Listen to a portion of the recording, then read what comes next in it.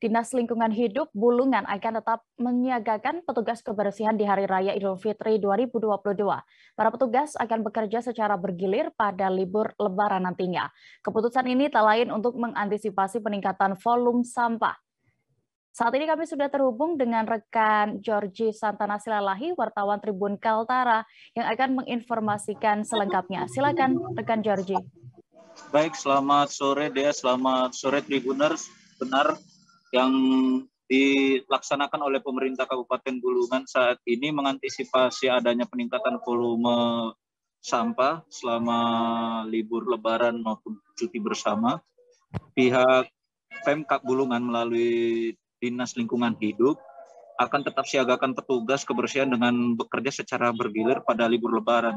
Di sini dimaksudkannya adalah selama satu hari nanti akan ada dibagi dua shift ataupun dibagikan waktu itu jamnya antara pukul 7 pagi hingga pukul 12 dan pukul 3 sore hingga pukul 9 malam. Adapun beberapa tempat yang menjadi uh, prioritas dari DLH yaitu di Jalan Sengkawit, Jalanan Kolonel Sutaji, Skip 1, kemudian ada Jelarai dan juga di Jalan Mangga ataupun Jalan Buah-buahan yang ada di Kabupaten Bulungan.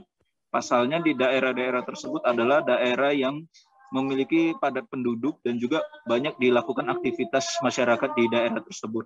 Dan juga uh, Bupati Bulungan Syarwani menyampaikan bagi pekerja dinas lingkungan hidup khususnya di bagian pembersihan jalan ataupun uh, petugas kebersihan pengangkutan sampah nantinya bagi yang bukan beragama muslim ataupun non muslim akan di bagikan juga uh, jadwal untuk bisa merayakan maupun bisa membantu uh, kegiatan yang bersifatnya tentatif ataupun mobile di teman-teman dinas lingkungan hidup, lingkungan hidup yang libur ataupun tidak. Bahwasannya hal ini untuk uh, meminimalisir uh, bisa menikmati ibadahnya khusyuk di bulan uh, puasa ataupun lebaran nanti yang akan datang tinggal lima hari yang bahwasannya juga masyarakat bisa uh, merasakan dampak dari tim dinas lingkungan hidup uh, di setiap eh, masa-masa uh, libur lebaran.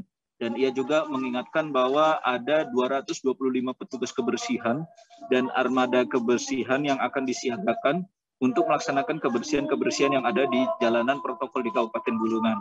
Itu pun yang disampaikan Pak Bupati nantinya juga ada uh, patroli dinas lingkungan hidup pada pukul pukul 8 ataupun pukul 12 siang hingga nantinya menjelang malam sekitar jam 10. Bahwasannya ini untuk mengantisipasi adanya, adanya kepadatan sampah di beberapa tempat. Terima kasih sudah nonton. Jangan lupa like, subscribe, dan share ya.